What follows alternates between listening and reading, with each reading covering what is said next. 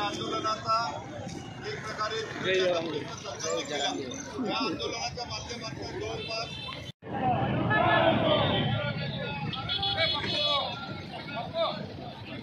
राजेंद्र काळे मराठा आरक्षणाचा प्रश्न अनेक वर्षापासून प्रलंबित आहे.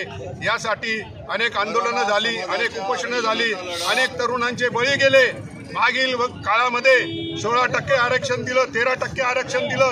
त्याला कायद्याच्या कसोटीमध्ये कचऱ्याची टोपली दिसली. सध्या परिस्थितीमध्ये महाराष्ट्राच्या जनतेचं भाग्य उजळलं. एक मुख्यमंत्री दोन दोन उपमुख्यमंत्री मिळाले.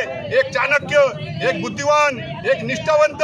पण काय झालं? आणि तो एक बेसन खाणारा आणि कांदे फोडणारा बेसन चाटणारा. नाही भीष्माचार्य या सर्वांनी मिळून दहा टक्क्याचं आरक्षण घोषित केलं. परंतु तू पुढे ते पुढे कायद्याच्या कसोटीमध्ये टिकणार नाही. सरकारने हे टिकाऊ नव्हे टाकाऊ आरक्षण आमच्या पदरी टाकलेलं आहे. मनोज जरंगे पाटील आमचे मराठी योद्धा यांच्या आदेशान्वये सगळे सोयरे या मसुद्याचे कायद्यात अंमलबजावणी होऊन लवकरात लवकर तो जी आर प्रसिद्ध करावा. यासाठी सकल मराठा समाज धुळेतर्फे आज रास्ता रोको आंदोलन करण्यात आलेले आहे. जय जिजाऊ जय शिवराय.